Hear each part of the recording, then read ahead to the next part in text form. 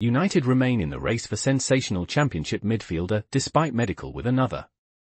Manchester United remain in contention to sign Archie Gray, the Leeds United midfielder, despite reports of a medical with Brentford. United have expressed interest in Gray, who had a standout season with 43 starts in the championship. The 18-year-old's versatility and skill as a ball carrier make him an attractive option for Erik Ten Hag's squad. While Brentford seem to have secured Gray's transfer, Leeds has rejected their offer, leaving the door open for United. However, convincing Gray, a lifelong Leeds fan, to move to Old Trafford may prove challenging.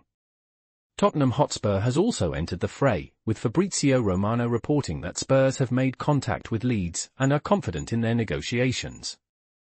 United's pursuit of midfield reinforcements continues, with their bid for PSG's Manuel Ugarte turned down, but they remain active in the transfer market. Please subscribe to my channel.